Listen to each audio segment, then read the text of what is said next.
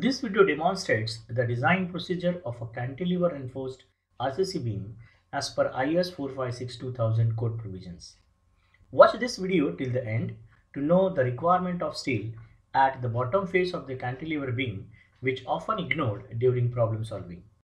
In this video, we will learn the design of cantilever beam which is monolithic with RCC column of size 300 mm by 450 mm for the following data.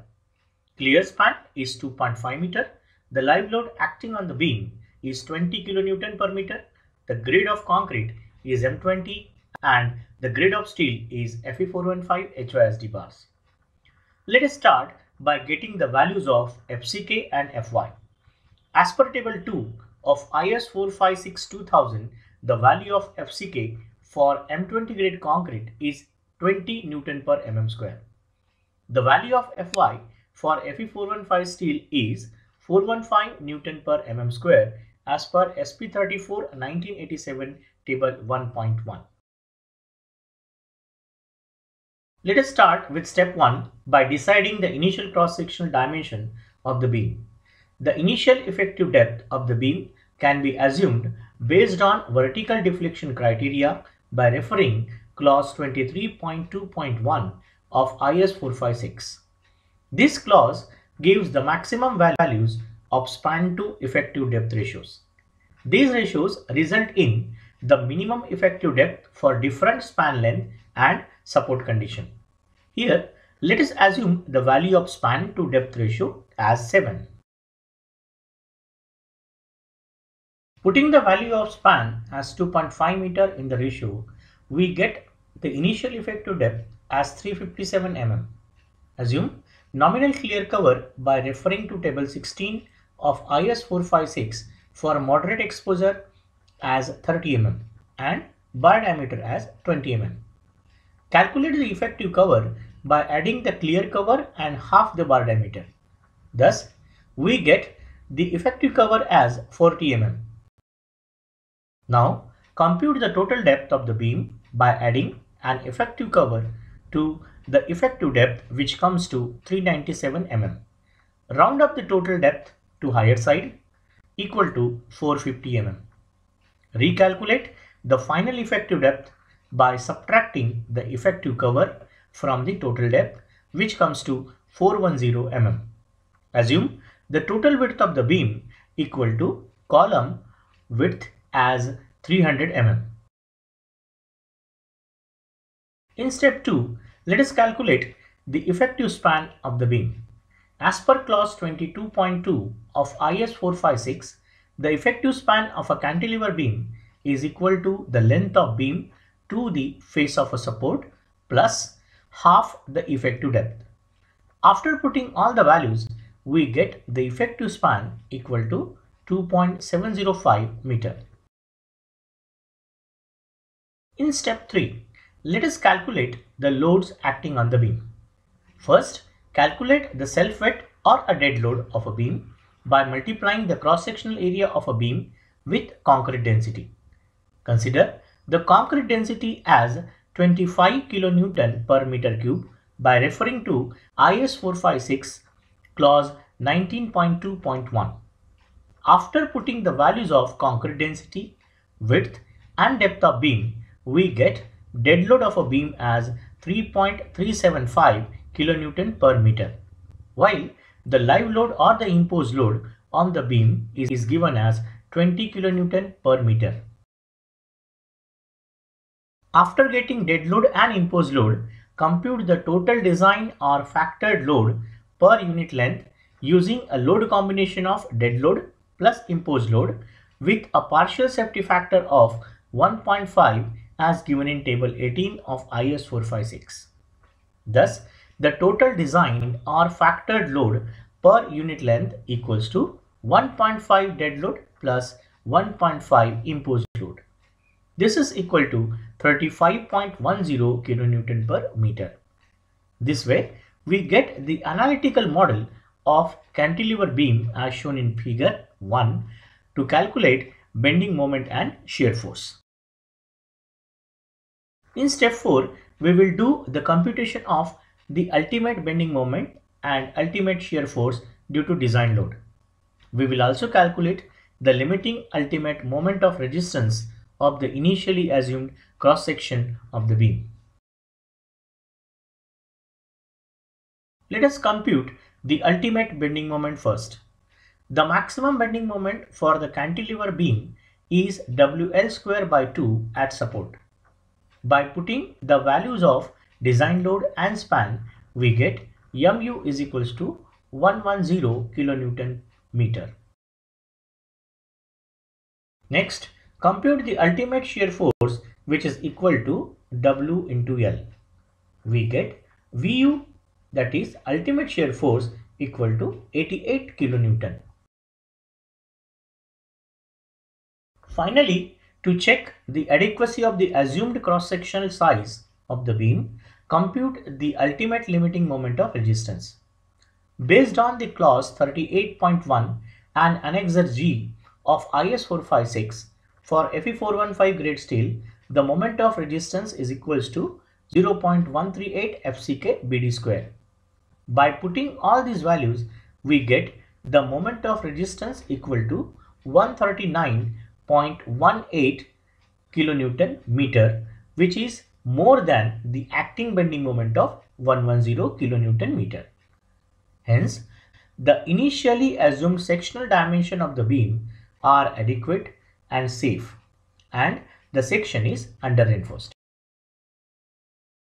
After knowing the adequacy of the cross-sectional size of the beam, let us compute reinforcement on the tension side of the beam in step number 5. The area of a steel required for the design bending moment can be calculated by referring the formula given in clause G 1.1b annexure G of IS 456 2000. This formula results in quadratic equation. So you need to solve the quadratic equation to get the value of AST. Otherwise, you can also use the simplified equation number 2 to calculate area of a steel.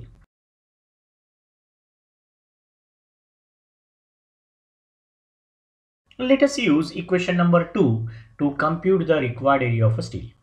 By putting all the required values in the equation, the area of a steel required on the tension side is equal to 871 mm square. Now, let us check the minimum area of a steel required as per IS code. Using the equation given in clause 26.5.1.1a of IS 456, the minimum area of a steel required is 252 mm square, which is less than the required area of a steel that is 871 mm square calculated earlier. Hence, required area of a steel on the tension side is equal to 871 mm square. Let us fix the number of bars to be provided as tension reinforcement. Select the bar diameter as 20 mm. The cross-sectional area of this bar is 314 mm square. Now compute the number of bars by dividing the required area of a steel by cross-sectional area of each bar. So provide 3 number of 20 mm dia bars at the top which is tension side. Thus the total area of the steel provided is equal to 942 mm square. Now let us get the reinforcement at bottom side of the beam. As per SP 34 1984 figure 8.17a for the cantilever beam projecting from a column the minimum area of a steel at bottom should be 0.25 times AST where AST is the area of a steel calculated for the maximum bending moment at the support. Hence, here the minimum steel at bottom is equal to 218 mm square. So, provide two number of 12 mm dia bars at the bottom. In step 6, check the feasibility of the beam section and reinforcement for the shear stress. The nominal shear stress in the beam due to shear force is obtained by using the equation given in clause 40.1 of IS 456. Putting the values of shear force, width and effective depth of the beam, we get shear stress equal to 0.715 Newton per mm square. Table 20 of IS 456 gives the maximum allowable shear stress value tau c max for the different concrete grades. So here for M20 grade of concrete, tau c max is 2.8 Newton per mm square. As per clause 40.2.3 of IS 456, under any circumstances, even with shear reinforcement, the nominal shear stress tau v should not be more than tau c max. Now, let us compare the shear stress with the design shear strength of the beam.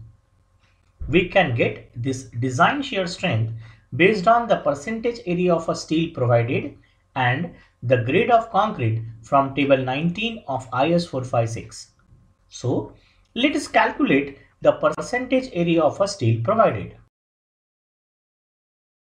By providing the values of the area of a steel provided, width and depth of the beam, we get the percentage of steel PT as 0.765%. In table 19, the percentage value of a PT is lying between 0.75 and 1.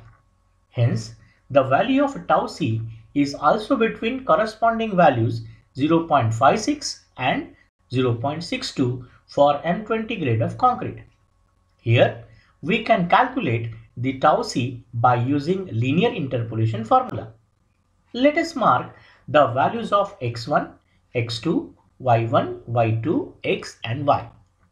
By putting all these values in the interpolation formula, we get y equals to 0.564 which is the value of tau c.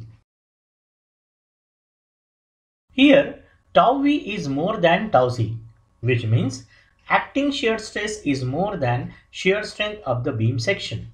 Therefore, as per clause 40.4 of IS 456, when tau v is more than tau c given in table 19, shear reinforcement shall be provided. As per the clause 26.5.1.6, the shear reinforcement shall be provided to carry a shear equal to Vu minus tau c into B into D. After putting the values of Vu, tau c, B and D, we get the balance shear force for which shear reinforcement is to be designed, which is equal to 18.628 kilonewton. Let us use two-legged 8 mm diameter vertical stirrups.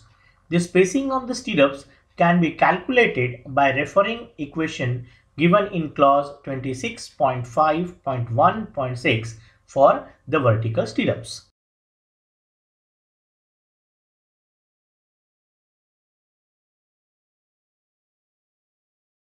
Rearrange this equation to get the stirrup spacing. In the equation, the value of ASV, which is the total cross-sectional area of a stirrup legs effective in shear will be calculated by multiplying number of legs with the cross-sectional area of the stirrup bar. After providing all the values in an equation and solving, we get stirrup spacing SV equal to 798 mm. As per clause 26.5.1.5, the maximum spacing of the stirrup shall not exceed 0.75 times the effective depth of the beam. Also, the stirrup spacing should not be more than 300 mm in any case. So, let us calculate the second value of the stirrup spacing equal to 0.75 times effective depth which is equal to 307 mm and the third value of the stirrup spacing is equal to 300 mm. Now maximum stirrup spacing is equal to the minimum value of the first, second and third value of the spacing. This is equal to 300 mm. Hence, provide the spacing of the vertical stirrups as 300 mm. Finally, let us summarize the design and the reinforcement detailing. A rectangular cantilever beam is designed with M20 grade of concrete and Fe415 steel. The width of beam is 300 mm while the depth is 450 mm. Three number of 20 mm diameter bars are provided as main reinforcement at top, while two number of 12 mm dia bars are provided as anchor bars at bottom. Two-legged 8 mm dia vertical stirrups are provided at a spacing 300 mm center to center of Fe415 steel. If you like this video, then share your thoughts in comment section. Subscribe this channel and press the bell icon to get the notification of such interesting videos for visual and simplified learning of various civil engineering topics.